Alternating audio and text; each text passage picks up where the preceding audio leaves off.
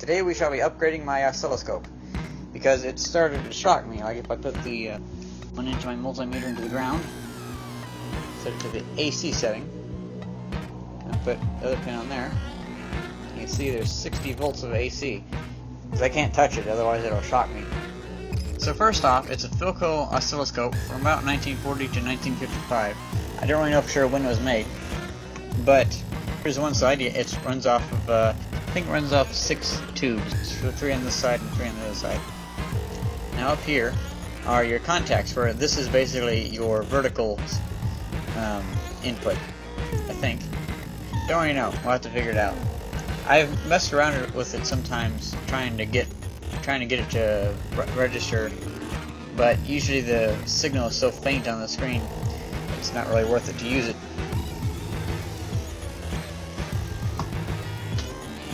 Then over here we have a power cord I added. I, had, I added this about two years ago. Basically, I couldn't find the power connector for it because it's a uh, it's just probably a, some long dead power connector. So I just put a cable in through these holes in the bottom and I wove it around and hooked it into the thing, and it worked out pretty good. Oh, I guess it's five tubes, it's only two tubes over here. Then up on the top, you have the connectors. And this is this is the main problem that it gives me, is I have no idea what kind of connector that is. So, so I, I, I always have to go on the insides of it and connect to the, uh, the wires in order to put input into it. Although the horizontal syncs are just little twisting uh, like pull connectors. They have a, a, nut where you tighten the nut down on the wire. So I've only really been able to use the horizontal one.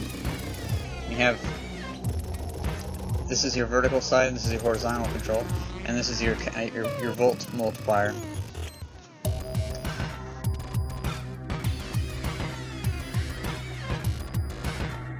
So first off, what we need to do is we need to add a grounding plug. I have some speaker wire I found in the garbage, and I will run it through some of these holes into here and I'll solder it to the base.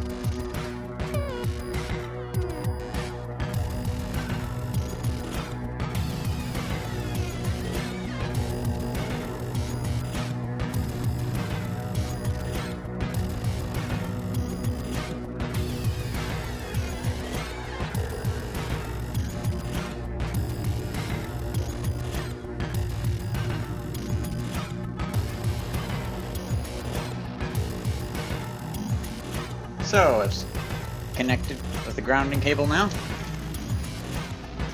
This is the grounding cable. It goes and connects to the frame. See, right now it says 66.1 volts. Now it's grounded. Slight sparking where it grounds, but it does ground it out. So, like, see, I can I can touch it now. So, I now have the speaker wire connected into the inputs, and I have made two connectors. I have a small one, a ground connector that I'll clamp onto the ground of whatever circuit board I'm working on. And then I have this other wire where only this part is exposed. The rest is all covered with duct tape so it can be a uh, handle.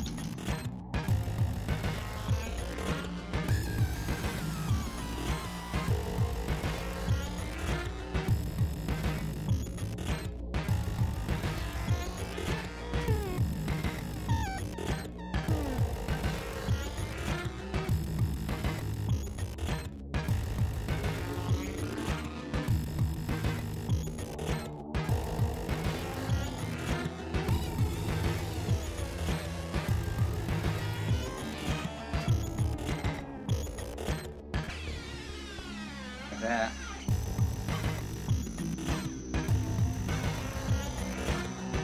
It should be like a gentle curve, I think.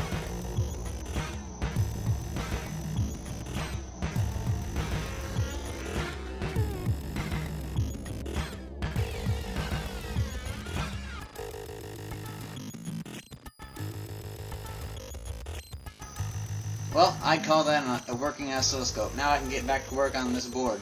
I've been working on this for like a week and a half. Hopefully I get it fixed now. But anyway, thanks for watching. Bye!